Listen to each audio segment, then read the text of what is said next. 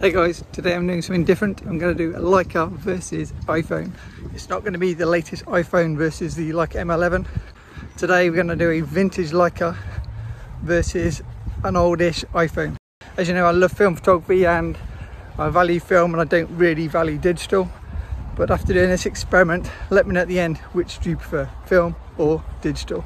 Hey guys, Matt here from MrLeica.com most of the photos you'll see in this video are shot with the Leica 1C and the Orion 15-28 f6 lens as I run around or walk around Gdansk. It's a really small camera so it fits nicely into your pocket. I also shot a few photos with a Leica 2F and a Summitar lens. I used the KEKS uh, 28mm plastic fantastic finder just to make my setup smaller and lighter for running around. Okay, let's get into the photos. So it's about seven o'clock in the morning, I think, about March, minus one degrees, and me running slash walking across about two or three different days.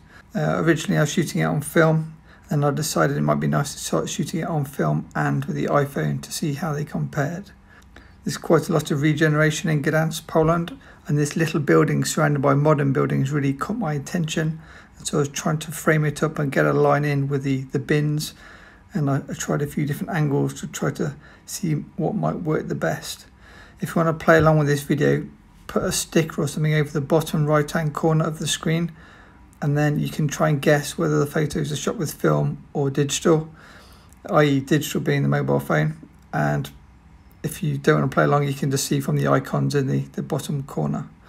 And here you can see what's left of the old buildings and then all the, the new buildings being built around them.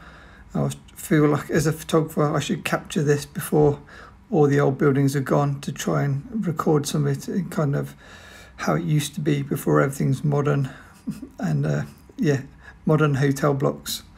Uh, these is parts of Gdansk that I've not been to before so it's kind of first time seeing it and anything that caught my attention I'd shoot away on film and as I say the mobile phone the mobile phone is obviously 28mm and the lens is 28mm, so it gives roughly the same view. Although it depends if I shot the uh, mobile phone is standard format or 16 by 9 format. I like the contrast the water is giving and the, the various shapes and the line in from the railings. So I tried a few different shots and there's me using a slow shutter speed to try to blur the train. As I was near the train tracks I kind of had to wander around to see what else I could find. Uh, you can't really do this in the UK because there's normally lots of fencing, so I guess it was the novelty factor. And also, I'm old enough to remember this a little bit when we were kids, and Dad used to take us to the the railways to, to watch the trains going past. Back now into the city centre. Again, I think it's the contrast and the leading lines that caught my attention. Again, I love the old buildings, and then as you see on the right hand side, the new buildings going up alongside the old, I think they're old mills in Gdansk. Uh, you can see flare there from the film lens being shot towards the sun. This is in one of the underpasses, and so I tried to wait until that guy or a guy went into the frame uh, at the end to, to kind of get the line in and something to look at. Uh, I liked the daylight and mix of the like tungsten lights. I was interested to see how much the lens would flare, so interesting, there's also some flare from the iPhone.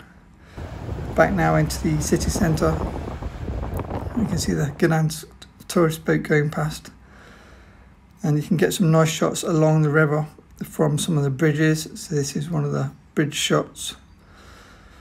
And then I like the, I think the contrast of the white steakhouse writing on the, the black wood. And so again, I tried a few compositions with lines in and different angles to try to work, work out what suited me best. I think the high contrast works better for this, um, as with many other photos.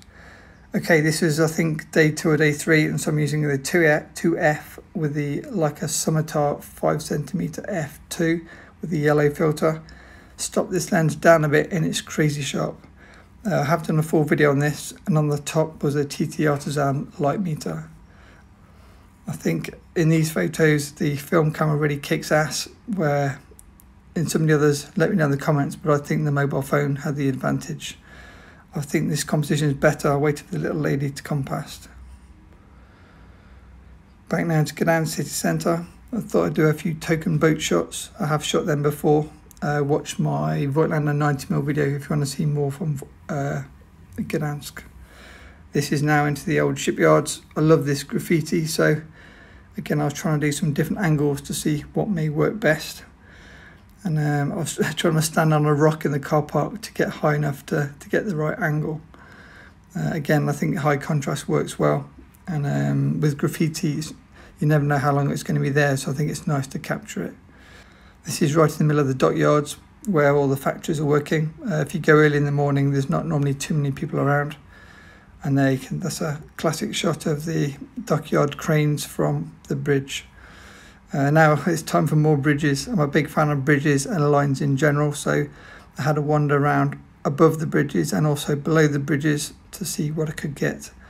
Um, I think the contrast always catches my eye and a combination of the geometric shapes uh, I was trying to work out which angles may work the best. Uh, you can see the wider angle of the mobile phone work better for some of those. That's the bridge without sun, that's the bridge with sun and obviously in colour. I'm trying to mix landscape photography with running and I'm starting to get a bit more picky with the weather. It's really cloudy today. Well, you can't really see it. Lots of cloud I saw the bridge completely illuminated with the light and then my phone ran out. Tried to change my phone really quickly and then the sun went in and then I've been waiting for about 10 minutes for the cloud to go over. So this lights up against the dark background and then I can continue my run. Uh, it's slightly more difficult when it's like minus one and I've got less ideal clothing because um, I packed light, but uh, all good fun. Here's mobile versus mobile, colour versus black and white. Let me know what you prefer and then film, obviously black and white film versus black and white mobile. Uh, the yellow and blue did work really well, but uh, I had black and white film loaded, so that's what I was limited to. These photos are on HP5 and Tri-X, if I remember rightly. I like the graffiti under this bridge, and so I was just trying to get a few different angles to see what may work best. Again, I think the mobile, slightly wider look works better. Here I waited for the train and I was pretty happy with this shot. This is probably one of my favourites of the, the whole session. And I love this tiny little old building, dwarfed by the, the new tower block.